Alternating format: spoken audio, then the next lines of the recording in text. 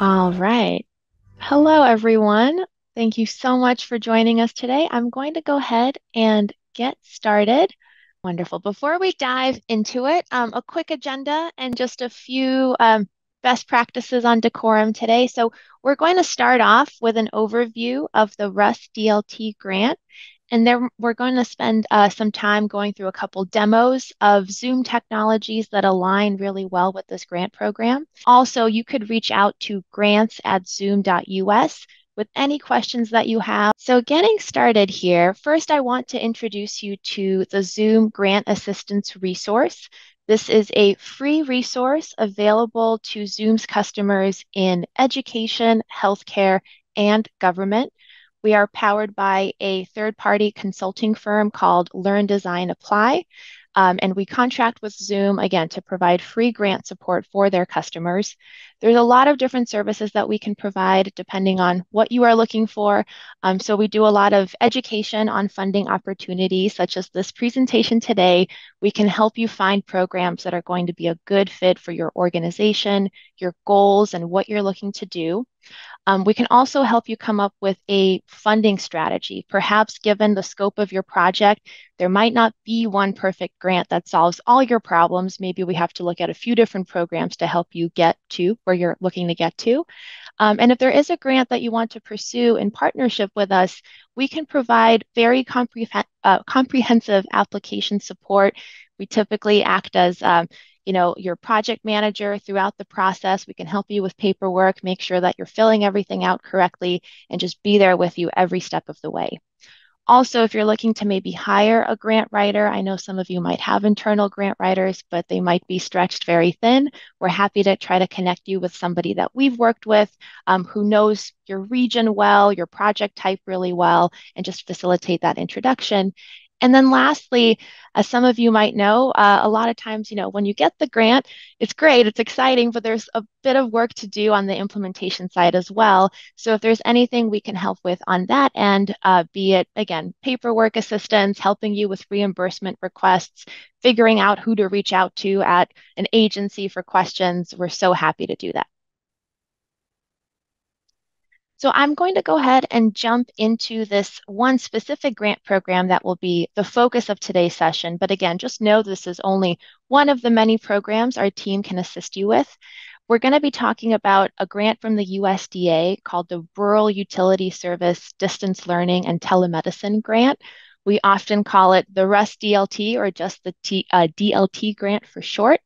Uh, this is a very long standing grant program. It's been around in some form or another since the 90s, and it's all about funding interactive, uh, collaborative, real time distance learning or telemedicine projects that provide services to individuals in rural communities.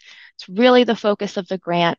Um, it's very unique in that it's super technology focused. So you have a lot of other grants sometimes that are broader, that you know try to solve the problem of bridging the digital divide in a different way. Maybe they facilitate uh, the hiring of additional personnel, for instance.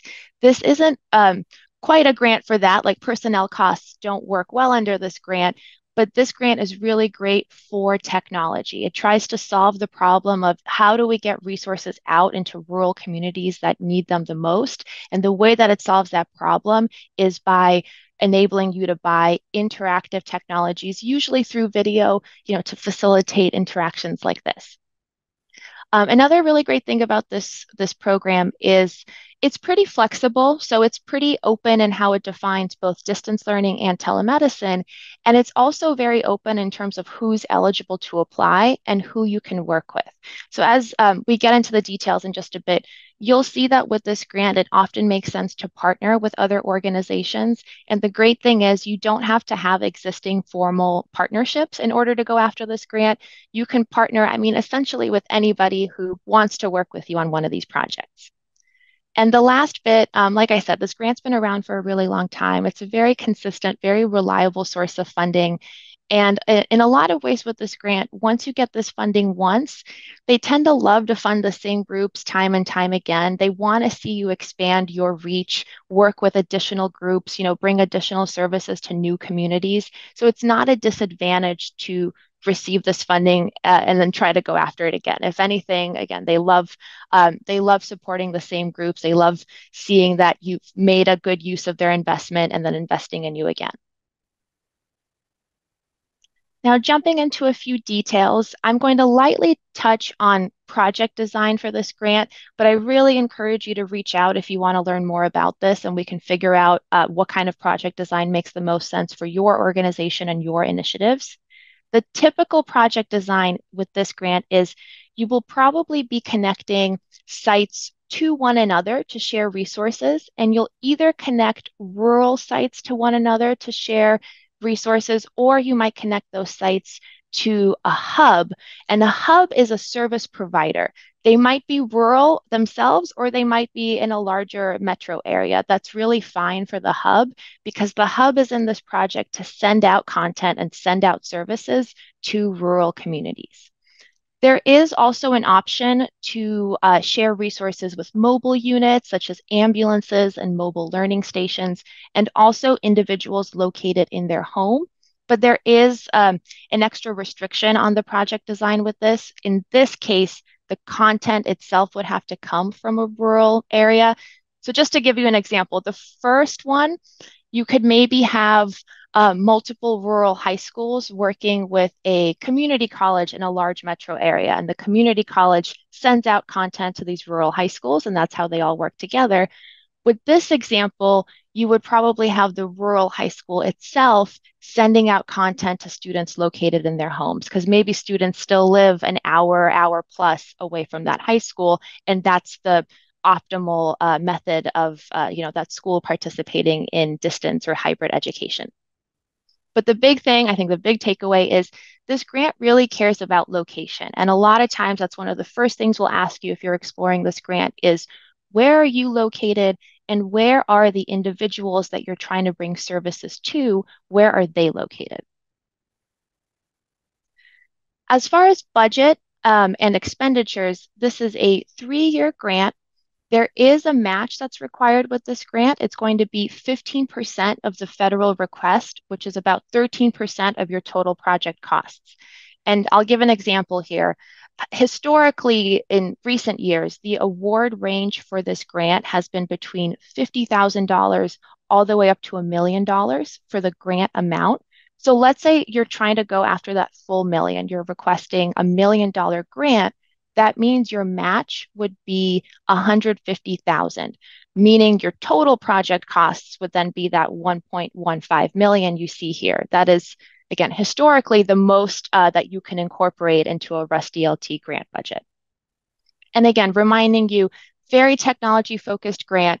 This is really great for video conferencing hardware, software, uh, services that are necessary to put this equipment in place and maintain it, uh, all really great under this grant, but it's not going to be a grant that funds personnel, um, general supplies, uh, construction, anything like that. It's really, really meant for this interactive, typically video, but they've been expanding that in some ways, but interactive technology that facilitates distance learning or telemedicine. And the last bit here on timing. Um, so this grant usually will come out every year. Um, sometimes they delay it a little bit, but we're expecting the next cycle for fiscal year 2024 to come out very soon, likely in December, uh, so late this year, right around the holidays, or early 2024. Once the grant is released, it is a pretty quick application cycle. It's just 60 days. So we always encourage anyone who's interested to start planning their project as early as possible. Now is a great time. And if this year is a little bit rushed, this grant does recur. So this is always something you can plan for for the following year and well into the future. So now I just want to take you through a few project examples that we've seen be very popular with K-12s and also with government agencies. I do just want to say this is uh, really a short list. I mean, again, this grant is very open ended, very flexible in terms of what can count as distance learning, what can count as telemedicine, who you can work with. We always say you're limited only by your imagination and a few other restrictions in this grant. But again, it's really, really open. So this is just meant to give you some ideas. Uh, very popular project example. Again, some of these I've already alluded to, but Um, you can do course sharing. You could share courses between rural high schools. You can share professional development resources. You can have maybe multiple rural schools connecting with a higher education institution for dual credit opportunities, for college readiness, um, all kinds of resources. Uh, you can also have K-12s working with uh, departments of health. So maybe you want to provide school-based health services. A lot of times that's one of the best ways of reaching young people in rural communities for healthcare services because school is somewhere they have to go every single day. And uh, that's a, becoming a very popular uh, project type under this grant. Um, we also see a lot of projects, uh, you know, kind of similar with the school-based health, but a lot of projects with libraries and community centers, and you might have all kinds of groups working with those. Again, you can have departments of health, you can have departments of labor working with libraries and maybe providing resume building skills, employment skills, technical certifications. Um, again, just to name a few. We also see a lot of Department of Corrections projects under this grant, um, a lot of telemedicine into prisons, and also educational services for inmates in hopes of reducing recidivism. And just to round it out, some next steps that we recommend, again, if you are interested, we would love to have a conversation with you and help you figure out if this grant is going to be a fit. Um, perhaps it's not, but then hopefully we can find another grant program that will be a fit for your organization. So again, please reach out to grants at zoom.us for that. If you do want to pursue the RUS DLT grant, one of the first things we recommend is just thinking about what is your project going to be about? Again, it's fairly open ended. You can do so much with this grant. So just try to think about what is the biggest priority to you? Who do you want to work with also? That's another big piece, both internally and externally. And lastly, as I said, because the location of your sites, like the physical address, is so important for this grant in terms of competitiveness, you really want to be thinking about that early as well. So who are you going to be working with? Are you bringing services just to your locations? Are you going to work with someone externally? These are all great things to think about very, very early. But I will stop sharing my screen now and turn it over to Myrella. Thank you, Vicki, and welcome everyone to San Jose headquarters. Now, granted, this environment is corporate. It's not higher ed, but use your imagination. And what we're going to be highlighting next is now, let's say, yay, Let's think positively. You've received your award. Now, how can your environment be completely transformed so that you can provide amazing distance learning and support for all of your hybrid students and faculty members. So here's what we've got is a Zoom room running as a kiosk mode. Quick Intro to Zoom Rooms. Zoom Rooms is a fully software-based experience, but we do need the hardware that complements the software. And every Zoom room needs a dedicated PC, a computer, okay? It does need a microphone, speakers, a monitor, and a controller. In this instance, we have it all consolidated in one single device, allowing me to simply plug and play and connect to the Zoom room that is using the virtual receptionist options. Now, this allows the end users to self-navigate on the screen and provide real-time support. Think about an education instance. How can this be applicable? Let's say you've got a student that is not feeling very well, prior to calling the parents to have the student picked up, maybe you can actually reach out to a nurse practitioner that's working remotely, such as this. Here, the let's say the faculty member selects virtual receptionist or maybe the nurse and now it's prompted with six fully customizable options so one of these could be a nurse practitioner and Selecting that option initiates a Zoom meeting that someone will answer. Hello there. How can I help? Next, I want to go into one of my conference rooms, okay? Now, as I approach my conference room, all of our rooms is equipped with the option for you to have a room scheduling device, allowing you to simply navigate and see the room's availability.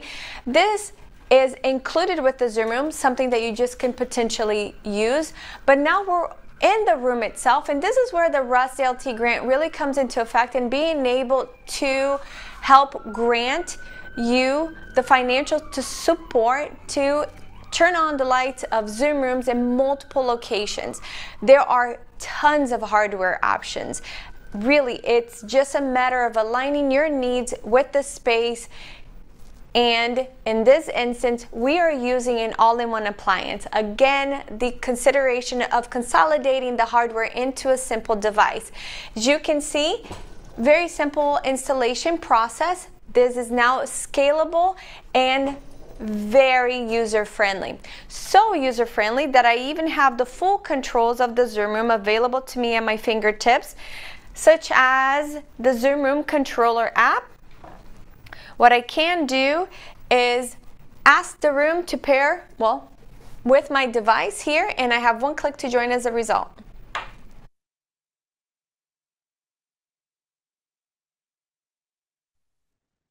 Now that I'm in the room and I have the controls at my fingertips, I can gravitate towards any seat. Now you also notice in the room that there's additional visibility of the camera. This is Zoom Rooms running as a companion mode. Now we even have a view over the cloud. It does not require any wiring to the device itself. It's just pairing on the cloud. If content is being shared in this room, you'd also see the additional content be shared here on the screen.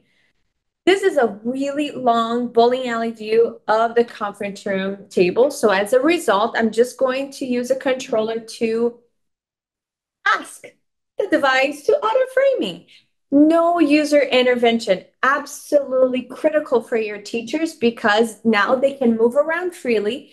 The camera will auto frame them respectively and the technology also takes into account that if there's anyone outside on these glass walls, it's not going to broadcast them to the far end. So notice if I'm a very active professor, I can do so absolutely hands-free because the technology does all the heavy lifting. Let's take it to another space.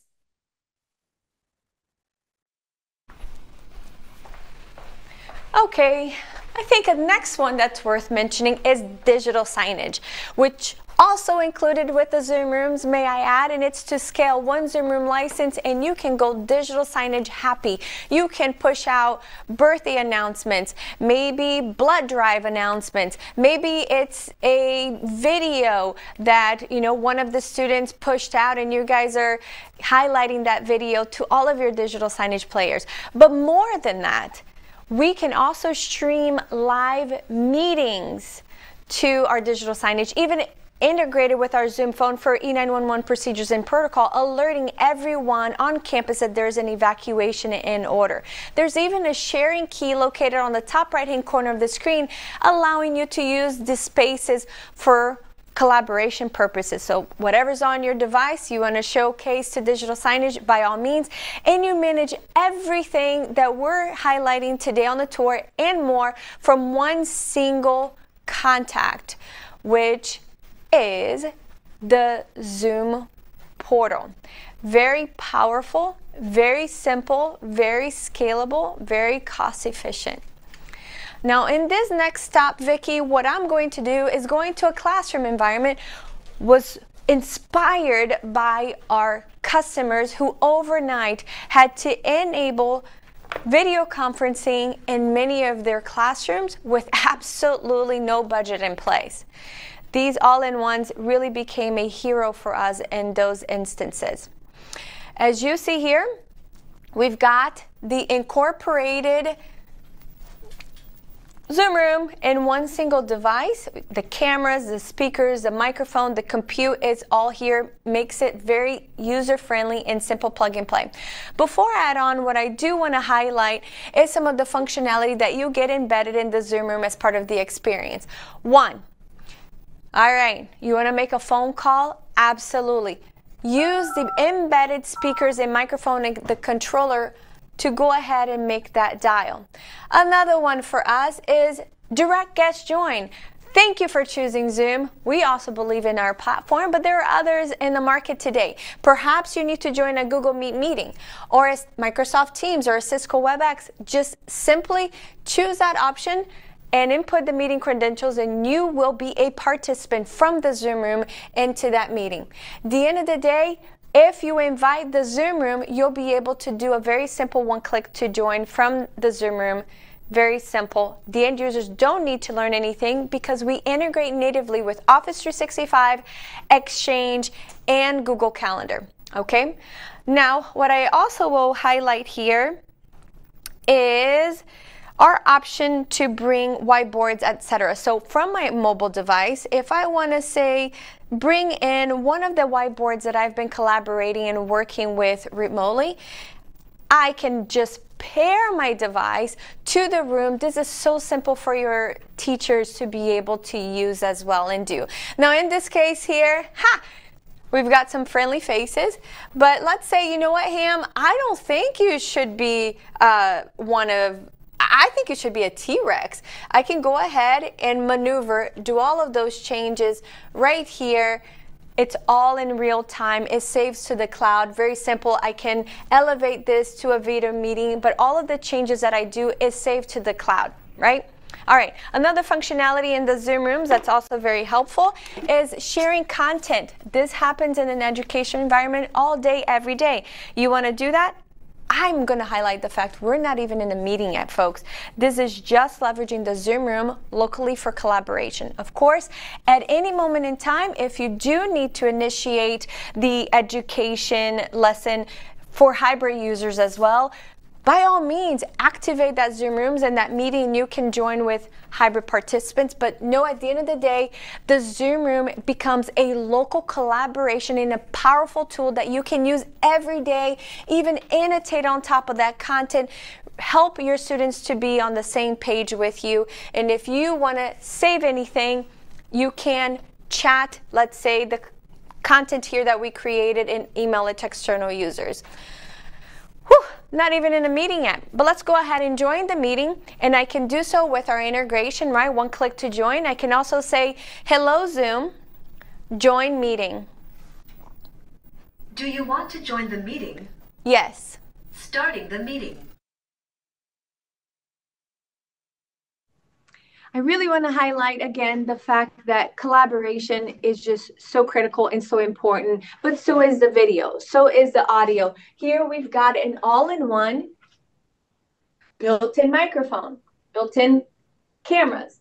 If at any moment in time, if I need to move this thing around on the cart, I can do so with confidence as the instructor that I can provide the lesson to my students. And oh my gosh, technology in the past was such a deal breaker for so many instructors. It was so intimidating. But Zoom Rooms removes all of that complexity. I even have the option to have, you know, an HDMI input, such as this case here, I have a document camera, but we are not talking about chips today. What we are, let's say, talking about, it's we're higher ed. So we want to really keep the engagement of our, I'm sorry, um, K through 12. We want to keep the engagement with our students, whatever it is that you want to put right underneath maybe just you know a simple lesson on a notebook etc you've got that additional ability even with the Zoom Room companion mode, again, no Pro AV is needed here. It's pairing in the cloud. I have the additional podium camera. I even have this capacitive touch screen. So if I want to highlight anything on the screen, guys, this is amazing. Your teachers can all benefit from this sort of interaction here. We've got multiple displays. Your students, regardless of where they're located, your instructor, regardless of where they're located, they can approach another one of these devices, start annotating, annotating from here. It the flexibility is remarkable. All right, so that's basically what we've got here in this room, Vicki, and I'm going to take us to our last step. What we've got here is a Zoom room running on a PC and multiple cameras. Zoom Rooms has the ability to support multiple streams. Zoom Room has the ability to have multiple cameras. Let's show you how this comes together with our intelligent director. A conventional conference room looks like this. one camera, one source, bowling alley view. Now by selecting intelligent director here, also ask artificial intelligence to help us to scan the room, find all of the individuals that are presently located. In this case, if you noticed before, Ed was not visible from that one single camera source, but now he is because the camera sees that we have a participant right behind Angelina Jolie here. Now notice also as I go in the very back of the room, I don't, hands up, I am really not interacting with the technology at all. The technology is actually interacting with me. As I come to the back of the room, I am now visible. I am perfectly framed. And let's say I become better visible for another camera source, in this case, the one to the left. Notice how it did all of that transitioning with absolutely no end user intervention.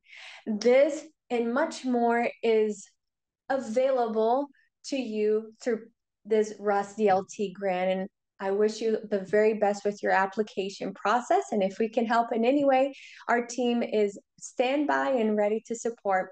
Vicki, thank you so much. Back to you. We're going to turn it over to uh, Dr. Lance Ford uh, for, for another demo. One of the things that is a power, powerful part of Zoom in distance learning is the ability to take these live moments and transpose them into on-demand experiences. So whether it's in a K-12 environment, whether it's in a higher ed environment, or whatever environment you're looking for to pursue that grant, part of the power again is being able to say there are so many learning modalities that we need to be able to address multiples. However, for most faculty members, they get intimidated by the technology because the technology really is um, the concept that becomes the content of the course and not just the conduit of the course. How does Zoom address this? Well, let me show you real quick because I think as we go through this, this may make a little more sense. One of the places that most faculty members live and spend the majority of their time is their learning management system. Um, now, our learning management system here, I'm going to show you today, happens to be Canvas, but it could be Blackboard, it could be Desire2Learn, it could be Schoology, Moodle. It's really a potato potato thing as long as it's LTI. So I'm logged in here directly into the LMS. And uh, you see my announcements, my assignments, my discussions. At marketplace.zoom.us, my administrator set up for me the plugin that allows me to have Zoom with Dr. Ford. So I'm going to go ahead and just click that. Now, once I click that, I'm presented with the opportunity to schedule a new meeting. One of the things I do at the college is I teach adjunct. Um, and so I'm teaching music appreciation this uh, fall and actually next spring as well. So Let's just make it music appreciation. Better put my glasses on so I screw this up. Uh, in this Canvas instance, this is actually course section and group aware. So maybe this live meeting is for multiple sections or just this section, or maybe it's just for a group of students from my Canvas course. How about the on-demand viewing? Well, same thing. It can either be by all courses or by just this course, this section. Um, maybe it's um, different groups that can watch the recording. All that's available here. When does the meeting start? Well, let's just pretend it starts at three o'clock today. It's an hour long. I don't know how your courses work, but mine work on a Monday, Wednesday, Friday, or Tuesday, Thursday schedule. And the end of my semester, fortunately, is not Christmas. It's uh, December the 15th, so we'll set it there. Now, faculty members may have been given a room that they would like, that they're, they're assigned to teach in, or maybe there's a, a lab or something they'd like to use as a part of this class meeting. I can simply go in and type in the name of that classroom that I've been given to teach. There it is. So when I get in, well, I'm not going to tell you. We'll just look at it here in just a second. From there, we can say we want to pre-assign breakouts for our course, and maybe we want to use those course groups once again as the genesis for those breakouts. And I like to record my classes so students who maybe physically can't make it or maybe just are not there uh, can go back and review it. We'll hit save.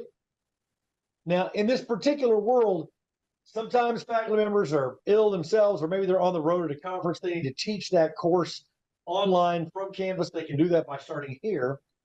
Or since we've been assigned a classroom and that space has been outfitted with some of these amazing grant dollars, we have the ability to just go right on over to it. So let's um, let's take a quick walk over to classroom. Here's my little poly unit, uh, poly HP unit that's been assigned to this classroom, making it a Zoom room and it's attached to a touchscreen. and it says music appreciation will automatically start in three minutes. Now, why does it say automatically start? Some faculty members are technophobic enough to the point where they just don't want to touch anything, and that's just fine. We can automatically start, we can automatically stop, we can give the administrator of the room remote control to be able to mute and unmute microphones if necessary to really help facilitate that. But I think you'll see real quickly once we get this started, you'll also see my nasty, messy office, um, that there's really not a lot of intervention that the faculty has to do. I'm not going to wait for the next two minutes and make you wait. I'm just going to go ahead and fire it off. So we're starting a meeting that has that music appreciation. Now, Zoom is never going to record anyone unless Zoom lets you know you're being recorded. So, hey, we got that. We're being recorded. The camera comes on. The camera will locate me. The camera will begin to track me around the space and find where I'm standing so that as I present to my learners here, as well as my learners there, then everyone knows what it looks like here in space. Now, there are multiple poly units that support multiple cameras as well. Some of them are all-in-ones. Uh, some of them are full-on room-based systems based on HP Compute. You just need to talk to your folks who are helping you plan your space as to how you expect to engage in that space. Regardless of what the form factor looks like, one of the things that's important for me is that I can give polls and quizzes. Those quizzes, I'm going to go ahead and fire one off. Those quizzes and hit the speed grader, the results do, and they can be gone right on into my speed grader so that I can add them to my gradebook inside Canvas. Another thing that I have the ability to do is whiteboard. So once I open up a whiteboard, I can determine do I want my students to be able to collaborate with me, or is this just more of a they're going to watch and then periodically I'll give them the ability to collaborate. Okay.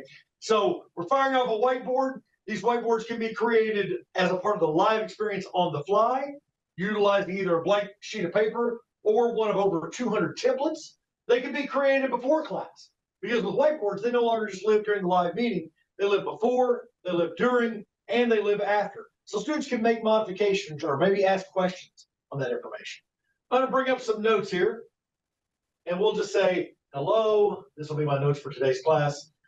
Hello, webinar, right? So now I've given a quiz, I've given some notes, we recorded all that, and class is over. Come back over to my desk because the synergy between the live experience, oh, there it goes, it automatically joined, sorry about that. The synergy between the live class and the asynchronous portions of class is just really seamless for the faculty member. You go right here and share the screen one more time. So now we're back after class into our learning management system. The whiteboard, you remember I said hello webinar on a whiteboard? Here's my whiteboards. There's my hello webinar. I'd like for my students that are part of this particular group project to be able to see it later, maybe make modifications, or at least be able to comment on it. So now it's here. So when they come and log in, they can actually engage with the whiteboard. If I know that some of these concepts are going to be difficult for my learners and maybe I need to schedule some time for us to get together, all that scheduling capability is built in. In fact, I can edit um, the schedule. I've chosen mine to be 1045 to 1145 on Mondays, and they're 15 minute blocks. Student comes in, chooses a time. Both they and I get an email with a, a unique Zoom link for our time together. What about knowing who attended the class? Well, it's built in. There's the report right there. I can click that report and get a student name, what time they joined, how long they were there. And if it's important enough to me, I can actually make that a part of my attendance report directly back into my Canvas gradebook. You're here 100% of the time, you get 100% of the points. You join five minutes late, you get 90% of the points. You can add whatever ranges you want as a part of this. Next, what about those recordings? Well, they're right here. I have the ability to come in and just turn those on so the students can come in and watch the content.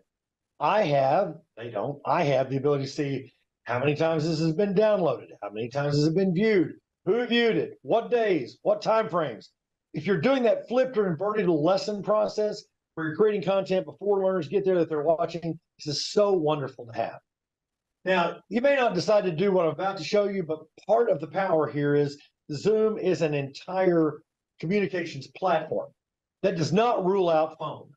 So maybe I need the ability to SMS my learners, or maybe I need to be able to call my learners to engage with them. I call them and it appears to them as if I'm calling directly from the school's number.